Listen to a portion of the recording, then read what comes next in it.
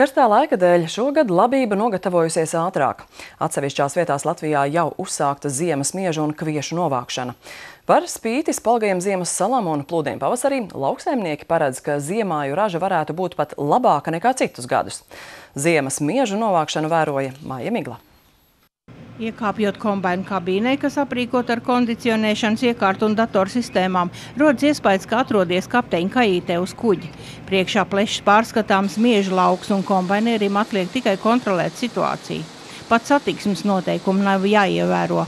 Nav dzirdēts, ka kombaina uz lauka saskrietos. Līdz šim es braucu daudz vecāku, šitā ir daudz jaunu, vieglāk, man liekas, braukt.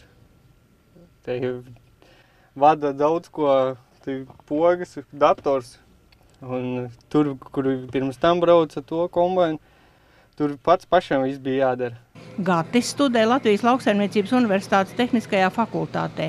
Jaunpilī viņam ir pirmā prakses vieta, līdz šim strādājis vecāku saimniecībā Smiltenē. Joišu saimniecībā šovasar praksē pieņemti deviņi studenti. Kombaini šeit strādājuši jau visu nedēļu. Arī laiks labības vākšanai pieturējies labs, un mieža lauks nu jau būs novākts. Kāpēc tāda izvēle mieži? Miežas Latvijā reti kur var stāt. Zemnieks sūdzas, ka graudus nekur negribot ņemt pretī. Miežu audzējam tāpēc, ka mums viena no galvenajām kultūrām ir rapsis. Un rapsi, lai varētu veiksmīgi iesēt, kas jāiesēja Latvijas apstākļos no 1. līdz 20. augustam, ir jāsēj mieži, jo neko citu tik agri nokult Latvijā nevar. Un mums ir sava šķirne kampus, ko jau desmito gadu kuļam, un kas vienmēr iznāk labi paši miežus nepārstrādājot, pateicoties kooperatīvām, nesot problēmu graudus realizēt.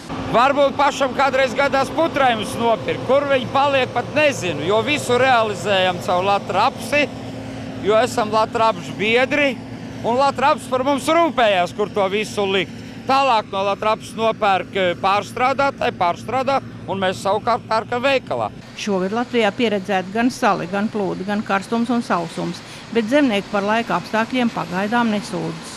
Ja mēs arī vēlētos raksturēt, raksturot Latvijas uh, situāciju, jāsaka, ka raža ziemājiem būs par 10-15% augstāka par Latvijas vidējo ražu.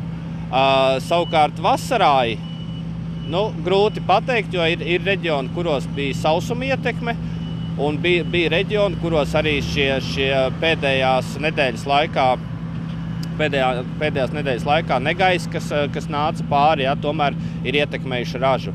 Bet kopumā teikšu, ka Latvijas lauksaimnieki ir optimistiski.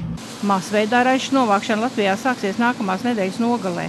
Un tad jau varēs spriest par graudaugu kvalitāti un aprēķināt, cik tonu no hektāra izdosies novākt. Maija Migla, Ingus Graudiņš, Latvijas televīzija.